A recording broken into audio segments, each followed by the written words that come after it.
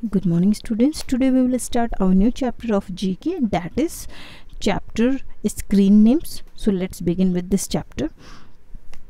यहाँ आपके बुक में दिया हुआ है you must be aware of these famous celebrities यहाँ आपको पिक्चर दिख रही होगी, ये फ़ेमस सेलिब्रिटीज़ हैं आपके but did you know that the names by which you know them are not their real names but their screen names पर्दे पे इनके नेम जो है आ, वो नाम आप जानते हैं। क्या आप जानते हैं कि इनके असली में इनके नाम क्या हैं? जो नाम से आप लोग जानते हैं वो इनके स्क्रीन नेम है यानी कि जो आपको पर्दे पे दिखते हैं टीवी पे दिखते हैं। Look at the pictures and write their real name आप पिक्चर्स देखिए और जो रियल नेम है इन सेलिब्रिटीज़ का वो आप लिखिए choose your answer from the help box given below तो यहाँ आपको हेल्प बॉक्स दिया हुआ है। So first one is Katrina Kaif तो इनका जो रियल uh, नेम है वो कैट टर्कोट है। कैट टुरकुट है। Now second one is Dilip Kumar तो दिलीप कुमार का जो रियल नेम है वो आपका है Mohammad Yusuf Khan. And third is Akshay Kumar. So the Akshay Kumar's real name is Rajiv Bhatia. Fourth is Rajnikant and the name uh, real name of Rajnikant is uh, given here Shiv Shivaji Rao uh, Gaikwad. And fourth, uh, after fourth, we will see here the picture of Rekha is given. So real name is uh, Banu Rekha Ganeshan. Sixth is Ajay Devgan and Ajay Devgan's real name is Vishal Devgan. Seventh is Tabu and real name is Tabassum Hashmi. And eighth is Tiger Shroff. The real name of Tiger Shroff is Jay Hemant Shroff. Now ninth is Govinda. The real name is Govind Ahuja. So we have completed this chapter. Now we will see next chapter that is that is Ships Aho. Fill in the blanks with correct answer यहाँ पे आपके ships से जुड़े हुए questions दिए हुए हैं। So you can see the first one is here sir Francis Drake carried out the second कर circumnavigation करकम second circumnavigation पढ़ेंगे इसे। तो इन्होंने शुरू किया था second circumnavigation of the world in 1577 in his flagship तो सरकम नेविगेशन को हम हिंदी में संसार जल यात्रा कहते हैं।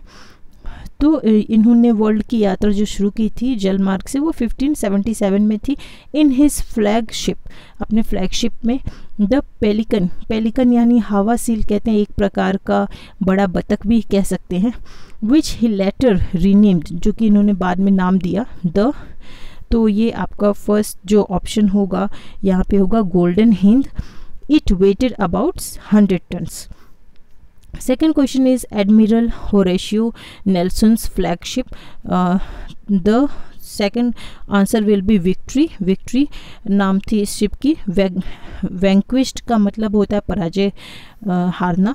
The French as well as the Spanish fleets fleets यानी खाड़ी या बेड़ा कहते हैं at the battle of Trafalgar Trafalgar Trafalgar which took place near the coast of Spain on 21 October 1805 the ship has been preserved and is on view today in Portsmouth England तो ये आपका second victory होता है।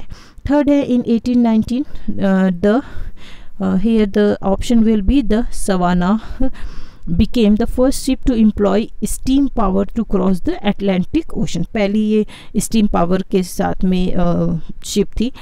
It demonstrated the practicability in, इसने practicality जो है वो दिखाया डेमोन्स्ट्रेट किया ऑफ़ स्ट्रीम नेविगेशन पथ प्रदर्शन कहते हैं navigation on the ocean by using a small steam engine एक स्मॉल स्टीम इंजन यूज़ करके इसने एक पथ दिखाया एंड पाइन वुड पाइन की लकड़ी फ्यूल सप्लाई के साथ में इसने वर्क किया। Fourth one is on fourteen to fifteen April 1912 in year 1912 the Titanic आप लोगों ने देखा होगा मूवी भी बनी है। Titanic the world's largest and most luxurious ocean liner back then disappeared into the icy depth काफ़ी बर्फ़ की एक गहराई में ये डूब गई, गायब हो गई। Off the North Atlantic Ocean on its maiden इसकी जो प्रथम वोविज थी, यात्रा थी वोविज यानी जलमार्ग से जो यात्रा होती and took the lives of around lives of around one thousand five hundred people including man women and children इतने लोग सवार थे और पहली ही यात्रा पे ये डूब गई थी। एक बर्फ़ के बड़ी सी आइसी जो डेप्थ थी, गहराई थी बर्फ़ के चट्टान की, उससे टकरा के और इसके बाद ये शिप जो है टूट गई और डूब गई थी। So fifth one is the uh, Bismarck was the first of two largest battleships built by the Germans during World War II. Launched uh, Huiti in 1939, the ship displaced uh, 52,600 uh, uh, tons, mounted 8 uh, 15-inch 38 centimeter guns and had a speed of 30 uh, के notes तो ये आपकी fifth जो option है, इसमें आपकी Bismarck नाम की जो शिप है, वो यूज़ हुई थी।